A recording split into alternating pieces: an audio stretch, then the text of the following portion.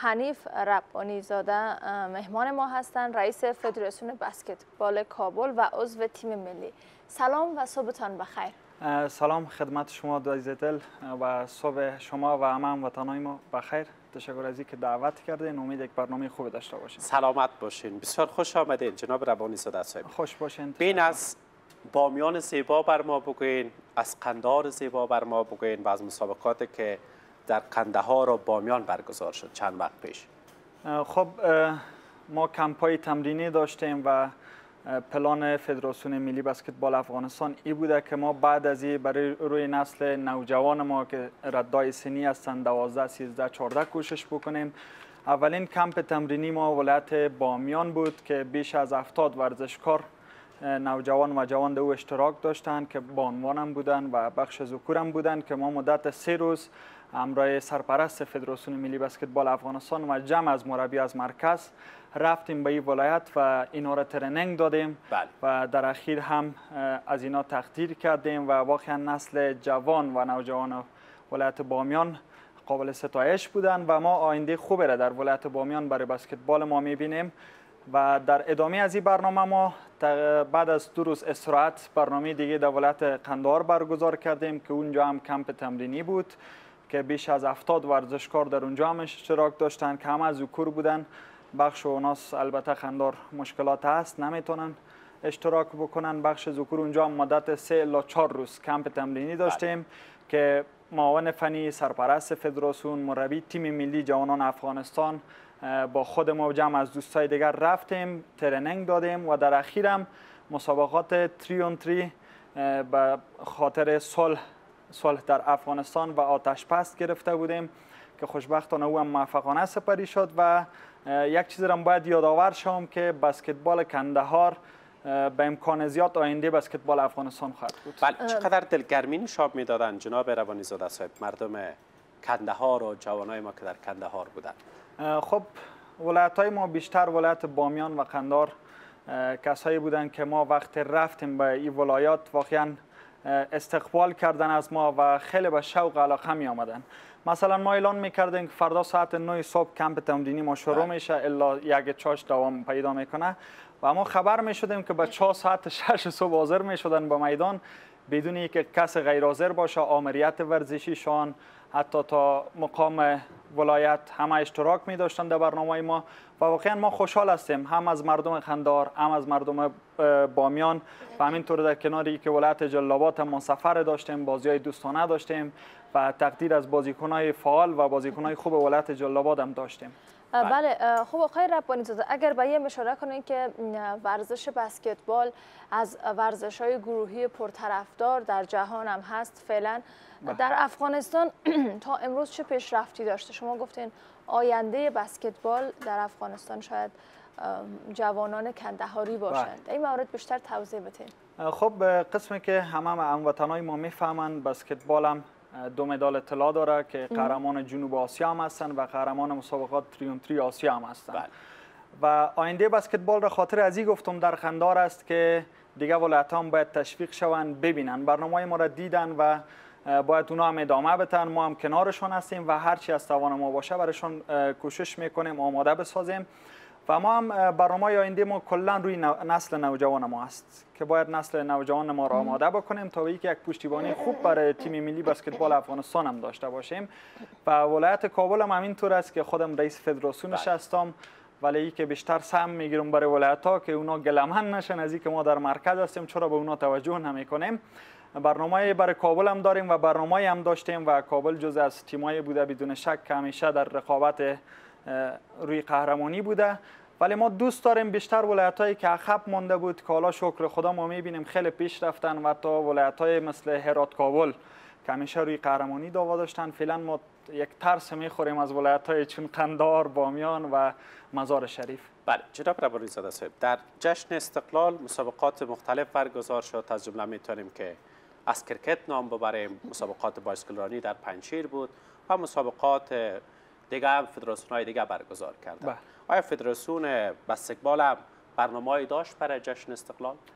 بله ما برنامه داشتیم مسابقات داشتیم نمایشات داشتیم که متاسفانه مدت 4 الا 5 ماه میشه که ما اجازه تمرین در داخل المپیک یا تربیت بدنی را نداریم در کابل به خاطر قرنطین و کرونا هیچ رشته هم فکر کنم هنوز اجازه داده نشده و جز کرکت بله. و ما برنامه روی دست داشتیم که متاسفانه در کابل نشد و فعلا تا جایی که معلومات دارم کندار دوست دارم میزبان مسابقات باشه که ما انشالله به زودی اقدام خواهیم کرد. بله به لحاظ تجهیزات بگوین. وسایلی که ضرورت هست برای بسکتبال تختا و توپ بسکتبال لباس حلقه بسکتبال چقدر در دسترس وجود داره و جوانایی که علاقه به این ورزش دارن می‌تونن که با امی امکانات تمرین کنن؟ خب بیشتر ولایات ما حتی میدان نداشتن برای تمریناتشان که خوشبختانه با همکاری آمریت های ورزشیشان و فدراسیون ملی و کمیته ملی المپیک اینا صاحب حلقه و میدان و توپ و لباس شدن که ما به می هر ولایت که رفتیم به کمک انجمن رشد ورزشی جوانان که دوستای ما لطف کردن از کشور خارج مثل سویدن و دوستای ما داخل افغانستان پول کمک کردن. ما برای هر ولایت مثلا کندار گفت ما 70 ورزشکار اشتراک می‌کنیم ما 70 جور لباس گرفتیم و 60 60 عدد توپ گرفتیم. همینطور ولایت بامیان به اندازه بازیکنایشان توپ لباس همه چی به اینا بردیم و اینا رو مجهز ساختیم. ولی یک چیز باید بگم کابل مثلا ما یک میدان داریم که تقریبا سی و چند سال است به یک میدان بسکتبال می‌کنیم. و القای شمو القای است که از اون دوران قدیم مونده هنوز ترمیم هم نشده. از 37 سال پیش. از 37 الا 38 سال پیش مونده و بازم شکر می‌کنیم که اونا هستن و بعض اوقات حتی هفته یک بار یا دو هفته بعد ما اونا رو ترمیم می‌کنیم. مشکل پیدا میشه یا تایرش یا شیشایش میشکنه ما خود ما ترمیم می‌کنیم. بله.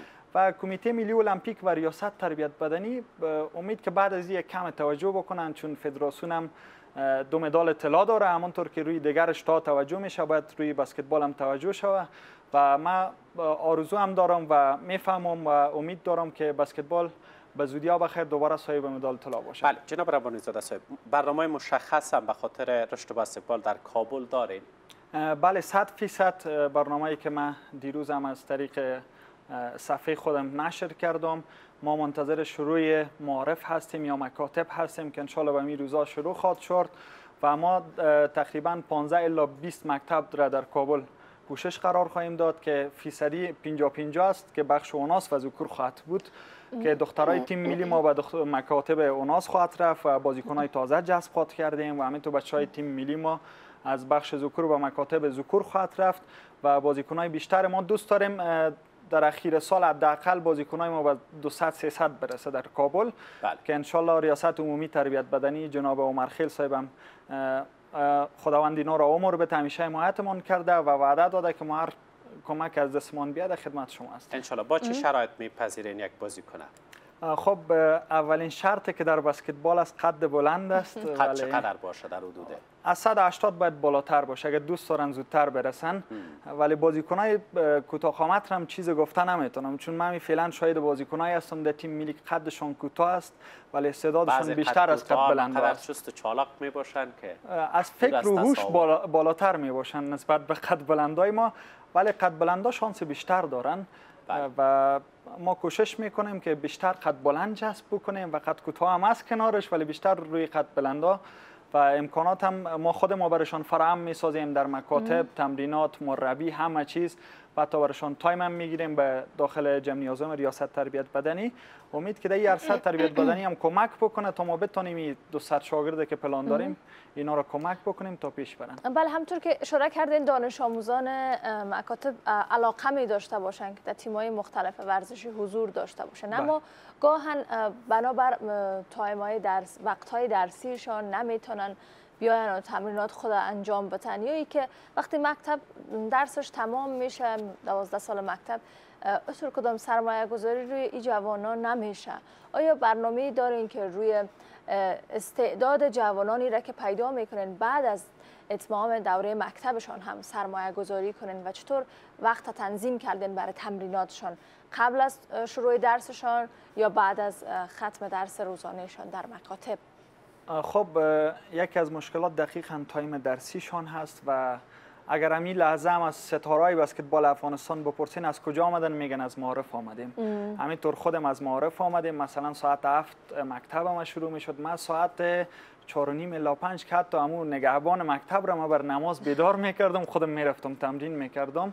همراه شاگردای ما بچه ها دقیقا ما time ای مشخص داریم برای از اینا که پیش از time درسیشان است و بیشتر مکاتب ما تا ساعت دو یا یک و نیم time ای درسی داره. بعد از او time دیگر نداره ما می‌تونیم عصر یا طرفای شام با گروپ ها و آمادگی که داریم و پلانایی که داریم اینا رو تمریناتشان به پیش ببریم. و زمانی که اینا از مکتب فارغ میشن ما دوست داریم اینا رو به زودترین فرصت در تیمای ما جذب بکنیم کلپ ها جذب بکنیم مثل کلپ های شهرداری کابل امنیت ملی و کلپ هایی که روی از اینا سرمایه گذاری می‌کنن اینا از خود استعداد نشان بدن و کلپ ها هم بتونه اینا رو جذب بکنن. و کابل هم شکر خدا کلپ های زیاد داره و اینا می‌تونن به شوق خودشان به علاقه خودشان بر کلپ دوست داشتن برن اشتراک کلپ های شخصی وجود داره. کلپ های شخصی وجود داره مثل کلپ های سمندر هست و که از یکی از دوستایم از بزرگای بسکتبال است و همینطور کلپ های دیگه شخصی زیاد داریم. بله. بله. آقای ربانی زاده حرف و پیامتان برای علاقمندان بیرشته چه خود خب پیام معمی است که بیاین کسایی که دوست دارن ما در خدمتشان هستیم. و در اخیرم باید بگویم کمیته المپیک همدمی آخرا کمک های داشتن. از برنامه ما در بامیان و خندار حمایت کردن که سپاس می‌کنم. ما از اینا حمایت می‌کنیم. بر طوری باشه نمی‌گذاریم اینا به نتیجه بانن بسکتبالشون و پیام می است بیاین بسکتبال بکنن آینده افغانستان را بسازن.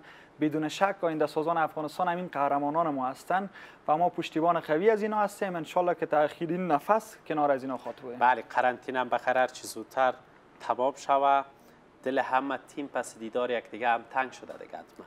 به حد شخصا خودم بچه های کابل را ندیدیم با جز چند بازیکنای ما. و همینطور که من خودم دوست دارم ما قصد داشتیم ولایت غزنی بریم که رفتیم من به امروز جناب رئیس صاحب جمهور اونجا حضور پیدا کردن یک مشکل امنیتی پیدا شد. که ما هم در جنگ گیر ماندیم و بالاخره دوباره آمدیم برنامه ما لغو شد تو برنامه آینده ما در ولایت غور و مزار است که انشالله بعد از برنامه کابل اونا را عملی خواد ساختیم. بله. و سخت دلتنگ بسکتبال هستم و بچه های تیم ملی و بله. مربی به خاطر رفع دلتنگی دعا بکنیم بخیر ممنون. سلامت فقط بر ورزشکاران فکر کنم بله. باقی مانده. خب همه جا برگشتن به شرایط قبلی با رعایت نکات صحی. حتما در مورد ورزشکاران هم این تصمیم خواهد گرفت خواهد گرفته شد به زودی دیگه انشالله که به زودترین فرصت ما البته یک گله است که باید بگویم جناب رئیس صاحب المپیک یا رئیس صاحب تربیت بدنی ما که یکی هستن برنامه بزرگ ورزشی خودشون اشتراک می‌کنه. روز استقلال برنامه بزرگ دیگه ورزشکارا رو جمع می‌کنه.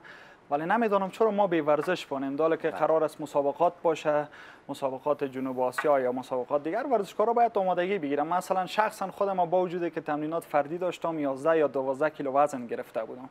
باید زودتر تمرینات ما شروع شه و رئیس من تقاضا می‌کنم که فکر بکنن برای ما چون مسابقات داریم پلانایی داریم که باید عملی شه بخیر ان دوست دارین شما ویدیوهای ما را تماشا بکنین؟ پس اگر دوست دارین ویدیوهای ما را تماشا بکنین اینجا را کلیک کنین. و ها فراموش نکنین. channel ما را هم subscribe بکنین.